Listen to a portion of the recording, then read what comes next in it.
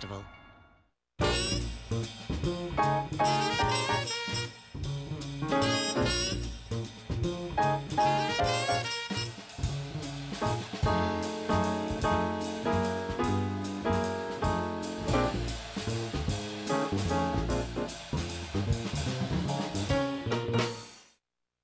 Hi there, and welcome back to TCM's Friday Night Spotlight. I'm Matthew Broderick, and I'm bringing you screwball comedies each Friday night this month. The next is one directed by the master of the genre, the legendary Howard Hawks. This one released by Columbia Pictures in 1934 and called 20th Century.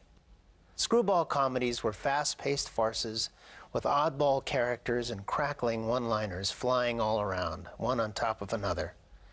20th Century is one of the best examples of the genre. It stars John Barrymore, a huge star at the time.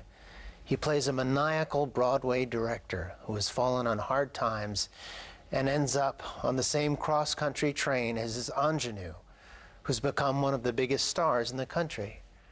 And Barrymore figures if he can somehow convince her to star in his new Broadway show, that could be his ticket back to the big time. Carole Lombard was cast to co star with Barrymore.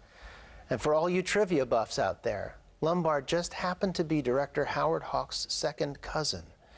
But as most of us know, Lombard was good enough to get the part even if there were no family ties with the director. And she's simply terrific in this film delivering a hilarious performance. Have a look. From 1934, a pioneering work of screwball comedy from the director who virtually perfected the genre, Howard Hawks. Here's 20th Century.